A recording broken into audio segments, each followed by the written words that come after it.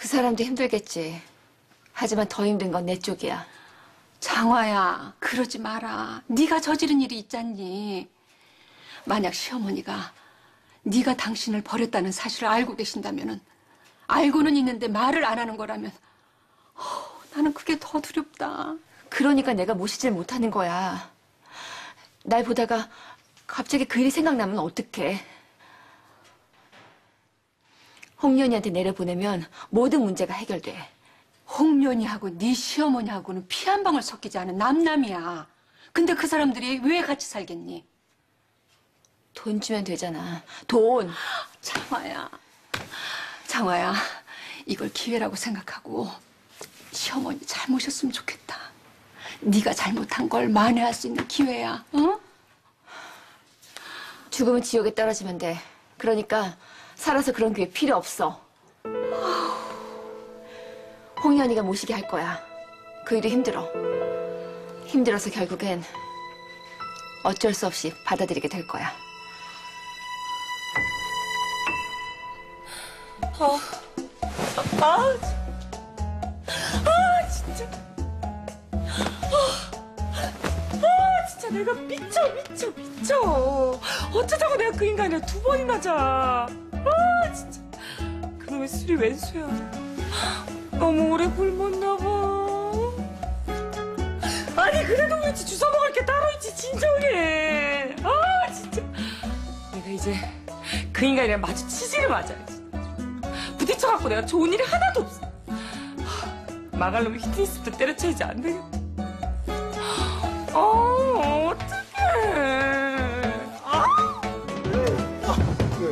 왜, 잤어? 왜? 왜 잤니 또 이 바보야? 그 가난하고 이상한 아줌마랑 왜 또 잤니 이 바보야? 하, 돈 많고 이쁜 여자 꼬시려면 아끼고 아껴야 되는 에너지를 왜 자꾸 이상한 데다 쓰니 이 바보야? 씨. 그 여자를 피해야 돼. 얽히면 안 돼. 왜 잤니 이 바보야?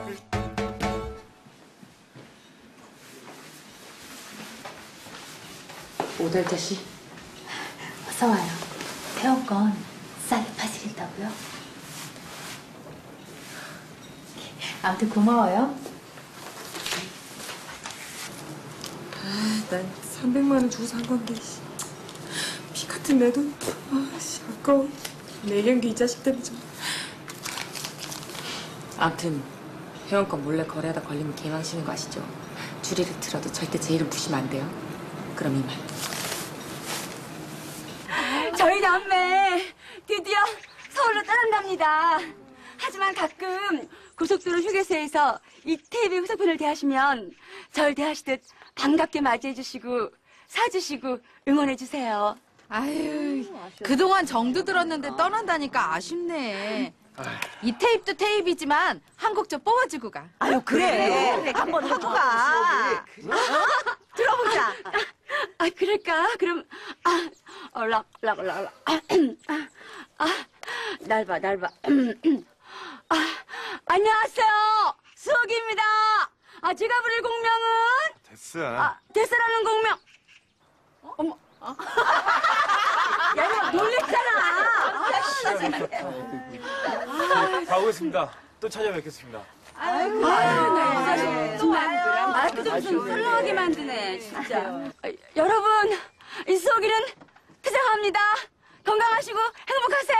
그래요. 아유, 아쉬워서. 노래 잘 알아, 아, 네, 네네.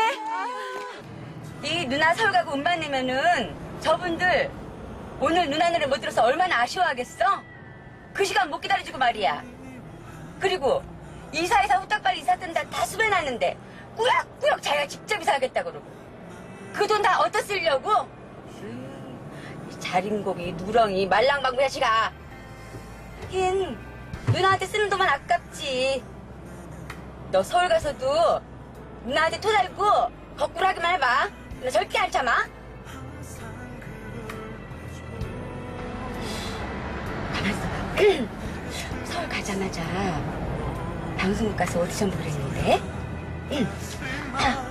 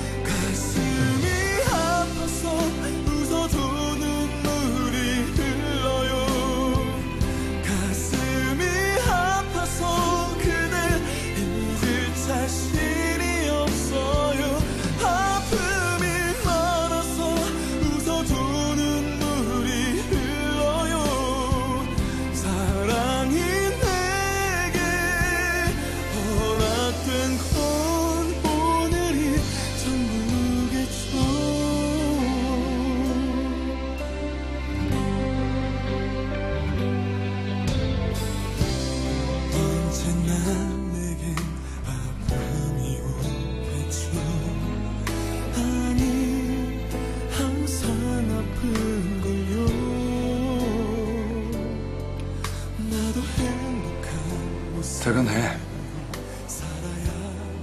형 동생 사이라 온 겁니다. 그럼 앉아.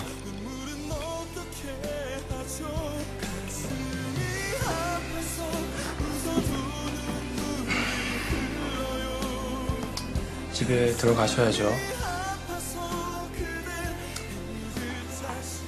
전쟁이다.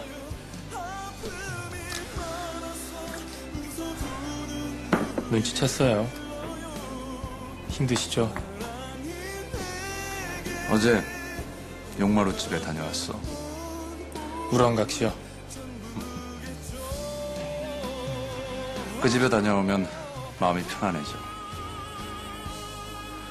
겉으로 보기엔 내가 더 가진 게 많은 사람인데 남을 돌볼 형편도 되지 못하는 그분한테서 평화를 얻고 온다니 참 아이러니지.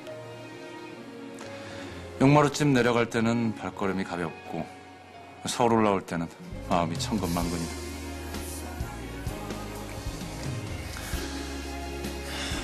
그럼 더 자주 가보세요. 편안해지신다면요. 아니, 이젠 가지 않을 생각이야. 어머니도 당분간 그분하고 만나지 않으시는 게 좋을 것 같고. 어머니하고 내 현실은 여긴데 이상 속의 용마루 집에만 머물고 싶어 할지 몰라. 이젠 가지 않을 생각이야.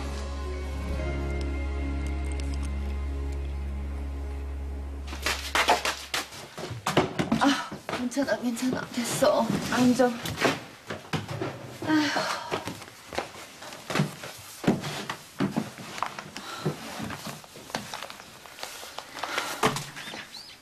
왜 그래 또? 아, 나 참. 홍련아, 나 미치겠다. 참. 말하면 너 놀랄 텐데. 네 등본이야. 주민등록 등본?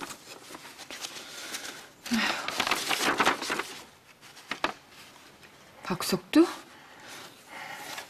박석두 이름이 왜 여기 있어?